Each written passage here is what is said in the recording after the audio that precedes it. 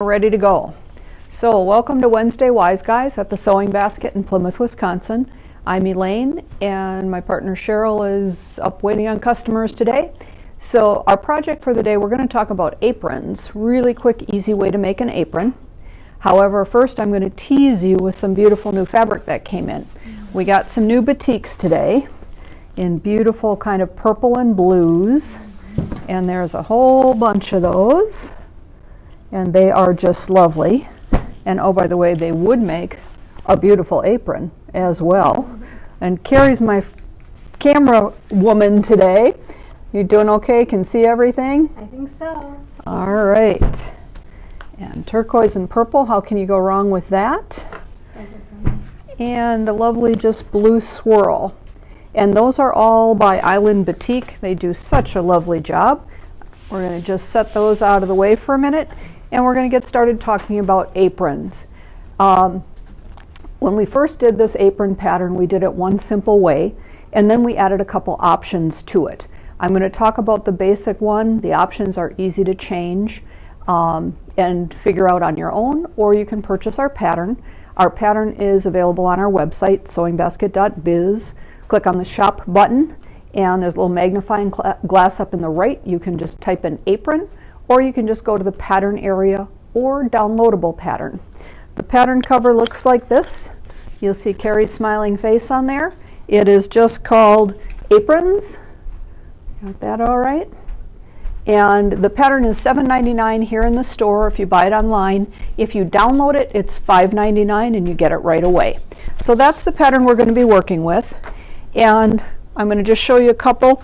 This on the mannequin is the three-piece apron, three different fabrics, and it's got the long tie to it. It just ties behind your head. I normally tie it, leave it tied, and just pull it off and on my head, and then the straps wrap around and tie. This is the flat version of that same apron, and then this is the one-piece apron. This is the one we're going to be making today. Obviously, this is just three pieces of fabric instead of one. Um, the pattern comes in sizes from child up to, I believe, I'm going to double check because now I don't remember, child up to an adult extra large. And um, we kind of laughed about it and said when I made the first kids one, it was like this big. And we said, yeah, it doesn't fit a real cook. So we went up from there and added a variety of sizes. Um, so this is the extra large. So it will definitely fit a good sized cook without having to worry about not having the apron big enough. And um, it is four different sizes. Again, this is the three, three piece apron. And then the back is all one piece, and actually it is reversible as well. So it's a nice, easy way to do an apron. So I'm going to make just the standard size right now. And I'm starting with just one yard of fabric. Okay, and watch because this is quick. It is not hard to do, and um, this demo is not going to take real long, so pay attention. One yard of fabric, I've got my salvages on the side, and all I'm doing is folding it together. That's making this about 22, 21, 22 inches wide, and I'm going to just line that up, and that makes it 42 inches long. Or excuse me, 36. I'm cutting this way. This way is 42. Folded in half gives me 21 and it's about 36 long, which comes down to my knees. If I want it shorter, I can cut it shorter. But all I'm going to do is put it just like this, and I'm going to sew around all three sides. Cross here, down the side, and across the bottom. So yes, I end up with a completely closed square. All right? And you're going to see a variety of aprons, but we're pretending they're all the same. So here it is. And I've sewn around all three sides, and the fourth side is the fold. So from there, I take my handy dandy water soluble marker, and I just realized that my ruler's not here. Give me 12 seconds, I'll be right back. Count. I need a, a ruler, actually I need a cutting mat. I need a cutting mat, but here I am, I'm back. I was just trying to make the demo seem longer. And the other thing I realized, I was all set to do this upstairs, and we had a number of customers walk in. It got real loud upstairs, so we came down here at the very last minute. Um, so anyway, I've sewn around all my sides, and then I'm going to mark my center. I'm measuring just from my seam line to my fold, and I'm going to take my blue water soluble pen and mark my center line. And on this size, on the pattern, it tells me to measure four inches on each side. That's how wide the top of the apron is going to be. And it's a different size for kids versus adults versus different sizes. So all I'm going to do is take that and I'm going to measure four inches and mark a blue line and four inches and mark a blue line. And then my pattern will also tell me how far down to measure. And on this size, it's 14 inches. So I'm measuring from my stitch line to 14 inches. And on this side, from my stitch line to 14 inches. And then if I were on a cutting mat, I would just cut this right now. I'm going to run my ruler from my blue line to my blue line. And that's where my stitch line intersects my blue line. So I'm going stitch line to stitch line. If I had a mat under here, I would just cut that off. I'm going to just draw a line because I don't have a cutting mat right here.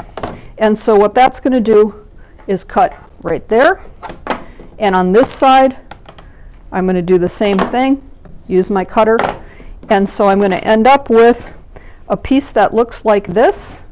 The sides are sewn, the top is sewn. This hole is now open. And miraculously, I already have that sewn. And actually, you know what? I am going to just take a scissors and cut this because it's going to be easier to show you. We're going to pretend that I cut that with my rotary cutter. You can use your scissors, it's just quicker to use a rotary cutter. We can improvise because we're sewers. Mm -hmm. Okay, so here's my apron. And you wondered how I turned it right side out. I reach through this hole and I go in and fold that edge under, grab my corner, pull that out, grab my other corner, and all I'm doing is turning it right side out through the hole. Very difficult. You followed along so far how hard this is? Okay. And I'm going to pull that out. On this one we used a really cute striped fabric. And this one is the large size. This one takes a yard and a half. And so here we go. So there's my apron pretty much ready to go. Plain and simple, makes sense to everybody? I'm going to go and I'm going to press that really nice all the way around. And then I'm going to grab the smaller one because it's easier to see on camera. So this one was done with a double-sided border print. This had a border print at this side and a border print at this side, and it's for a little bit smaller person, so I cut some of that border off.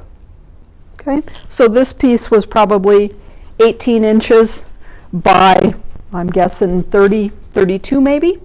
Again, both sides together, sew around the whole thing, chop off those um, angles, and I'm ready to go. Then comes the really difficult part. I make my ties. I cut a two inch strip.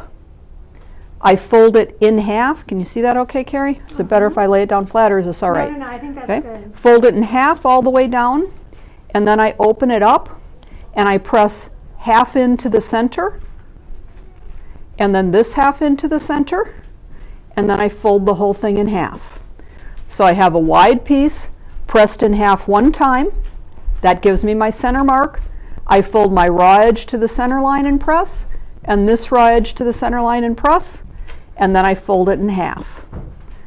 And so this makes what looks like a little clamp.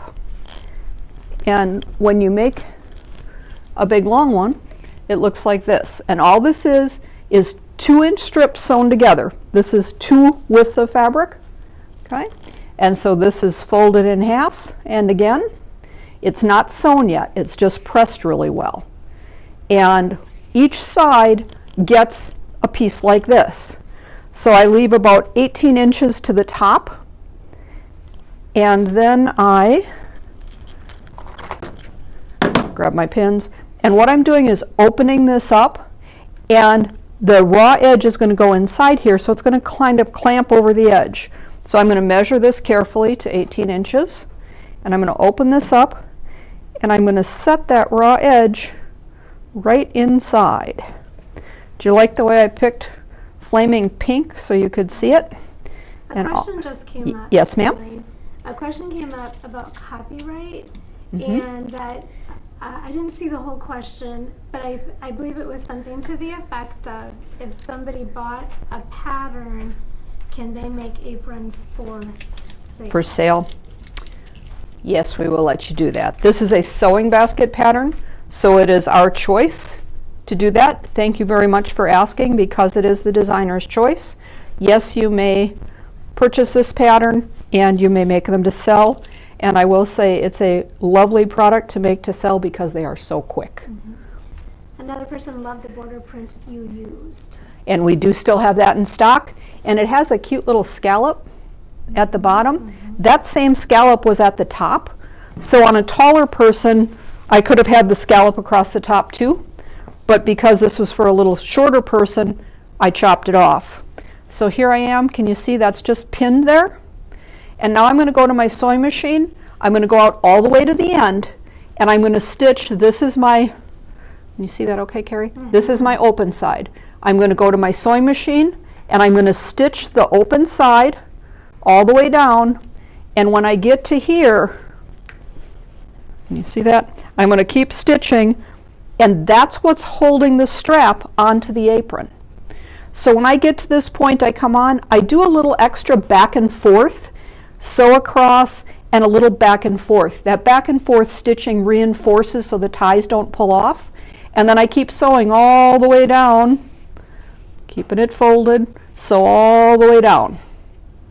And then a little back and forth at the end. And then I just tie a knot at the end. I just like the way that looks and it keeps them from coming out. I just tie a little knot and I can trim that off and then I go back to my start and I tie a little knot up here.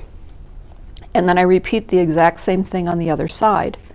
And so that's what the side of my apron looks like. So this ties behind my head. This comes around the side. And then my tie is long enough, let's see if I can do this, that it wraps around and it ties in front. On the larger aprons, you use more than two strips. Use two strips on each side. Um, you can make them any size you want. Like I said, the pattern shows four different sizes. Um, you can change this. Um, the little kid's apron you can actually do from a fat quarter. It makes just a darling little miniature apron. Um, really cute for the holidays, for baking, all of that kind of stuff. So that is plain and simple. This was the very first one that we did. This one I used a four inch, and I'm going to pull it up here. I used a four inch strip um, and it made the ties wider and it made this binding a little wider. On this fabric, I liked that because you can see it's olives. This fabric was all um, kind of olive oil and olives, and I liked the olive print that I used, so I chose to make my straps twice as wide. Obviously, I had to buy a little bit more fabric, but you see the contrast a little bit more. And I'm going to pull the pins out of here. And this one, I used um, a strip and a half, so I used three strips, cut it in half. I have a strip and a half on each side. And for me, mess up my beautiful hair, sure, take out this extra pin.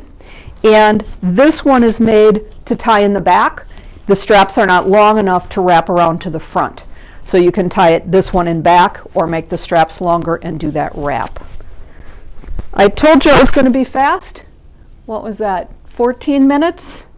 Something like that. That truly is how fast you can make an apron. So again, you're going to take that one yard of fabric or however big size you want.